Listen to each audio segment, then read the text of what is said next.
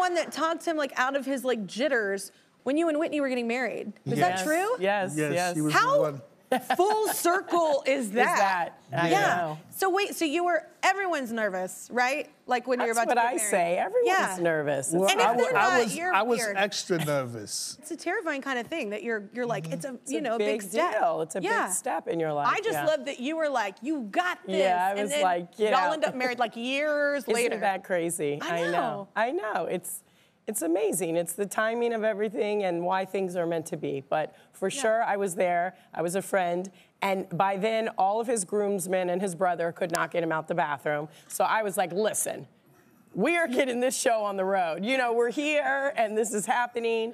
And Oh, they you know, couldn't get you out of the room. Like you had serious. I had real. That's what I was telling you, Okay, my God. I thought you meant just like you know everybody's like, no, man, I don't know. it's locked myself in, in the the bathroom. bathroom. Oh my God. Okay. Yes. Okay. So it was and I wouldn't for come. us. I wasn't couldn't come out for anybody. Did she know about this? I think everybody knew about it. Oh my gosh, that's that's terrifying. So you're the one that He was ended up- like, he better get out that bathroom.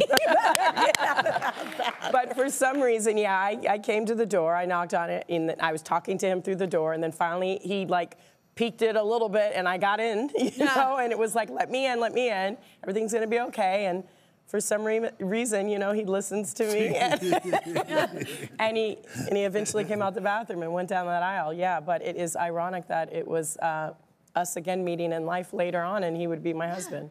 That's so great. Yeah. I love that. it's like a really interesting, cool romantic comedy. I would watch that movie. Um, and you were in it.